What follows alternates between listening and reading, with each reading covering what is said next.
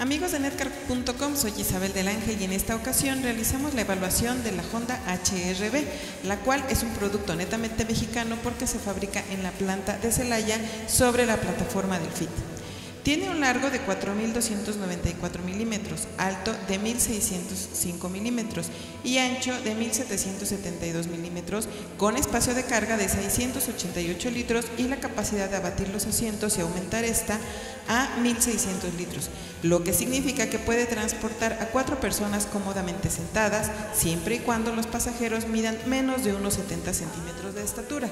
A mayor estatura tendrán un poquito de problemas con el techo. El equipo de audio con que cuenta este vehículo es un complemento adecuado para tus recorridos. El sonido le da preferencia a las frecuencias graves, por lo que las agudas se pueden perder un poco. Esto se soluciona ajustando el ecualizador.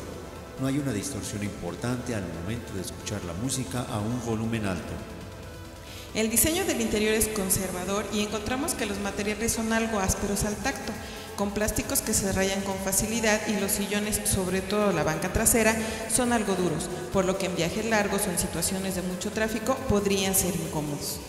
Este crossover es sobre todo para manejo urbano, porque su motor de 1.6 litros con transmisión CVT responde ágilmente. Además, su dirección es suave con asistencia eléctrica, lo que en general lo hace un modelo práctico. Sin embargo, en carretera hay que mantener el acelerador para elevar el régimen de revoluciones del motor y así obtener la potencia que deseamos.